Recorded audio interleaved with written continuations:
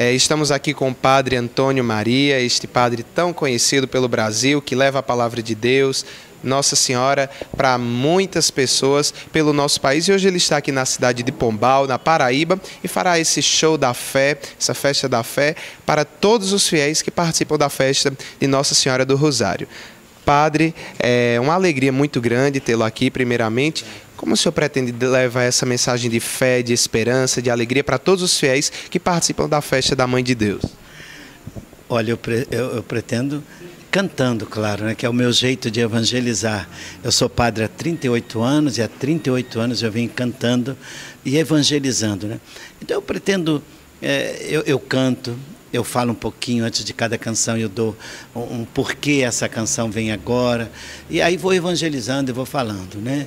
É, é assim, é, cantando, falando e, e rezando, porque a gente também tem momentos de oração no show. Né? Padre, a festa de Nossa Senhora do Rosário é uma festa que já tem mais de 100 anos. É uma festa que vem desde lá, tem suas tradições aí. É, para o senhor, é uma alegria, deve ser uma alegria muito grande estar participando hoje. O senhor tem uma mensagem direcionada, claro, para aquelas pessoas, evidentemente, que, que já acompanham desde muito tempo essa festa, e para os jovens. O senhor tem alguma mensagem para a juventude? Claro que sim. Eu dizia antes, para, para, numa outra entrevista, que toda festa é uma recordação, mas deve ser uma renovação.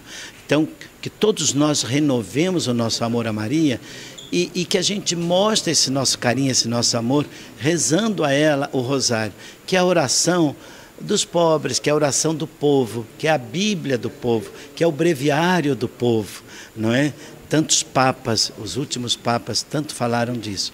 Mas para o jovem eu diria, você rezando o rosário, o terço, como você quiser, não é? Ou pelo menos uma dezena do terço, meu jovem, minha jovem, você está valorizando a juventude. Sabe por quê? Porque Maria era jovem quando ela recebeu o anúncio.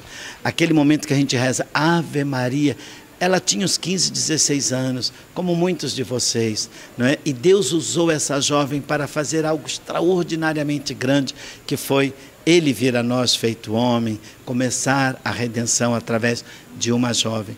E eu queria dizer a você, jovem, que muitos cientistas, homens famosíssimos, rezaram o terço. Então, o terço, o rosário, não é coisa os beatos, como a gente costuma dizer, não é até é, num, de um jeito assim um pouco menosprezando, né? Não, o terço é para você também. A gente, quando gosta de alguém, a gente repete mil vezes: Eu te amo, eu te amo. Rezar o terço é dizer para a Mãe do Céu: Eu te amo. E dizer com as palavras de Deus. Foi Deus que disse através do anjo: Ave Maria, cheia de graça, o Senhor está contigo. E Isabel disse: Bendita tu és entre todas as mulheres, e bendito é o fruto do teu ventre, Jesus, não é? E você acrescenta com a igreja: pede por Deus, mãe, por todos nós, pede a Deus por todos nós agora e na hora da nossa morte. Então, jovem, o terço é uma oração muito moderna.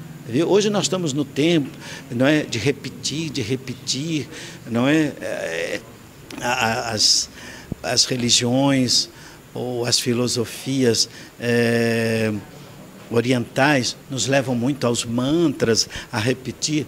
O terço é um mantra também, por que não? Vamos olhar assim e vamos rezar, vale a pena. Rezar e meditar na palavra de Deus, daí que surge a Lexo Divina, né, Pai? É isso mesmo. Rezar meditando é, e vivenciando aquilo que a gente lê. Meu Deus do céu, como é bom a gente ter a Bíblia na mão e a gente é, ler e meditar, e ir vivendo aquele momento. Por exemplo, o próprio momento da anunciação do anjo a Maria. Você se colocar na casinha de Maria, você imaginar e você falar com ela, oh mãe, agora eu estou eu, eu sentindo assim, como era aquele momento da senhora ali. Talvez, eu acredito que Maria nem estava rezando, viu? Ela estava trabalhando, porque trabalhar também é uma oração. A Bíblia diz: entrou o anjo. Então, muitos dizem que ela estava numa fonte. Não, se ela estivesse numa fonte, o anjo não teria entrado. Ela estava em casa, talvez amassando pão, talvez sei lá, costurando uma roupinha de Jesus, não sei, arrumando a casa, varrendo, porque as mulheres também do tempo dela varriam, não é? E o anjo chega. Então, meditar e tirar proveito para a sua vida. Como é que eu estou varrendo a minha casa? Como é que eu estou fazendo a minha comida? Como é que eu estou trabalhando? Como é que eu estou vivendo de tal maneira que a minha casa seja uma casa de Nazaré? Tudo isso é lexo divina.